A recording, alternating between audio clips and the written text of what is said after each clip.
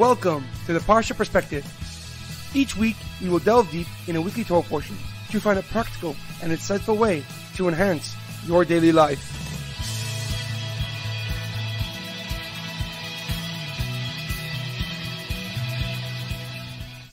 Thank you for tuning in. My name is Rabbi Shalom Yamini, and each week we'll look into the weekly Torah portion to find practical and insightful ways to enhance your daily life.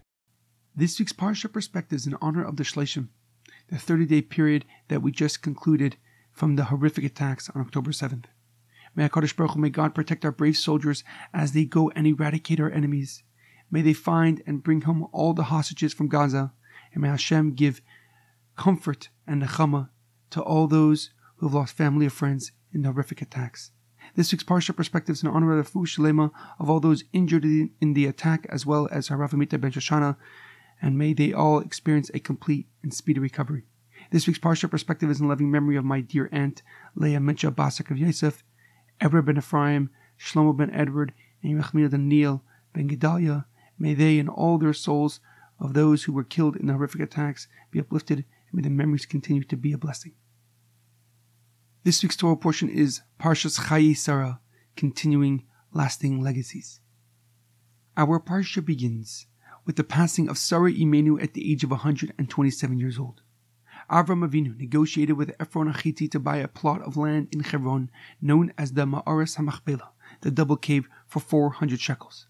And this cave would be used as a burial spot for the next generations for his son and grandchildren. When Avram finished mourning for his wife Sarah, he sent his most trusted servant Eliezer to find a wife for his son Yitzchak. And when Eliezer arrived in the city, he prayed to Hashem to have mercy on him and show him the future wife of his master's son Yitzchak. The test he formulated was if the girl would offer him water, and specifically for his camels as well, to drink, he would know that she is the wife of Yitzchak Avinu. Eliezer went to the city well and encountered a young girl, Rivka Imenu, carrying a water jug on her shoulders, and when he approached her and requested water, she gave him water to quench his thirst. But she also offered him and provided water to his many camels to drink. When Eliezer asked who she was, he discovered that her name was Rivka and she was a great niece of Avram. And at that moment, he knew that Hashem has answered his prayers and he has found the wife of Yitzchak Avinu. Rivka ran home to tell her family about Eliezer and his mission to find Yitzchak a wife. And her brother Lavan quickly went outside to greet Eliezer and invited him to stay the night. The following day, Eliezer and Rivka traveled back to Canaan to meet her potential and future husband. When Yitzchak Avinu met Rivka, he brought her into his mother's tent to see if the miracles of her tent would return. While Sarah Imenu was alive, her candles remained illuminated from Friday afternoon to Friday afternoon. Her dough stayed fresh and miraculously increased as needed.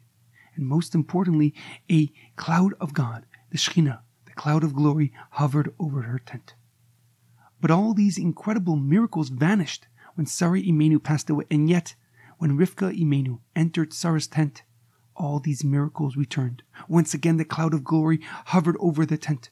Her candles burned for an entire week, and her dough never finished. And when Yitzchak saw these miracles returned, he knew that she was the one to become his wife. She was the one to continue his amazing mother's legacy. However, a question comes to mind.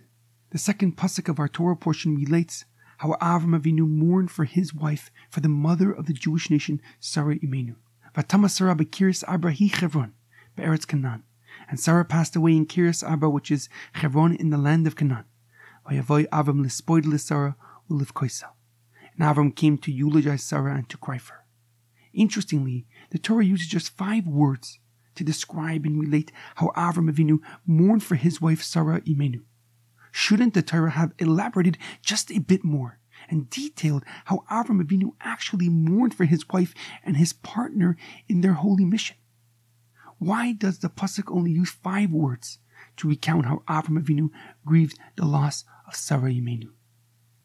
Unfortunately, the answer to this question is relevant in ways we could have never imagined.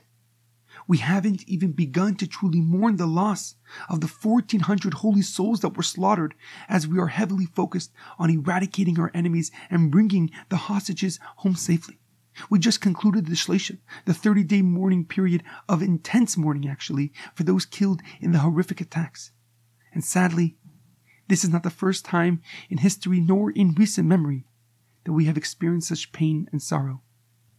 From the slaughter of 69 Jews in Hebron in 1929 before the modern state of Israel, to the incomprehensible wickedness of the Nazi regime, our knowledge of pain and sorrow is substantial. But what also is substantial is our knowledge of creating living memorials to honor those who have made the ultimate sacrifice. We have and will continue to build massive living testimonials to keep their memories alive and ensure the continuity of the Jewish nation. We will follow the footsteps of our forefather Avram Avinu, who immediately set out to continue Sarah Imenu's legacy. He sent out his most trusted servant Eliezer to find the wife for their only son, the next forefather of the Jewish people, Yitzchak Avinu. The living testimony to Sarah Imenu's life was enshrined in history as Rivka entered Sarah's tent, becoming the next matriarch of the Jewish nation. The miracles that define Sarah's tent and holiness returned to her rightful place, the carrier of her legacy. The Jewish reaction to pain, sorrow, and tragedy is purposeful grief and heartbreak that seeds a lasting future for our nation. In the face of such wickedness, cruelty, and outright evil abroad and at home, we cannot let them prevail. We cannot let them win or succeed for the sake of the millions who were murdered in cold blood for the simple fact that they were Jewish. We must overcome. We must defeat and succeed far beyond our quantitative numbers to protect the legacies formed in suffering and set by the ultimate sacrifice. And I know that this perspective is a challenge set before every Jew from our inception till this very day. How do we mourn the past in a manner that ensures our future? How do we honor those who have given everything of themselves to our Creator, to our Father in heaven? How do we live our lives today with the legacies of giants on our shoulders? And while this awareness may seem daunting, the Lubavitcher Rebbe, Rebbe Menachem Mendel Schneerson, outlines the steps we must take. No matter who we are, what profession we are in, or how much we have studied, we must share God's love with all. We can help those less fortunate, share God's wisdom, and give strength as we cross the finish line into the Geula Amitis Vahashlema, the ultimate redemption.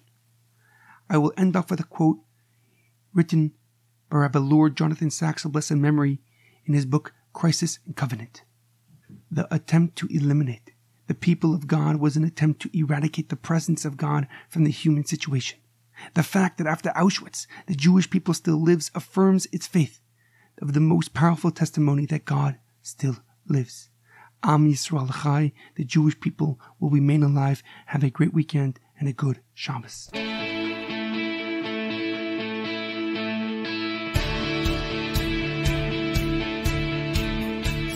Thank you for tuning in to the Parsha Perspective.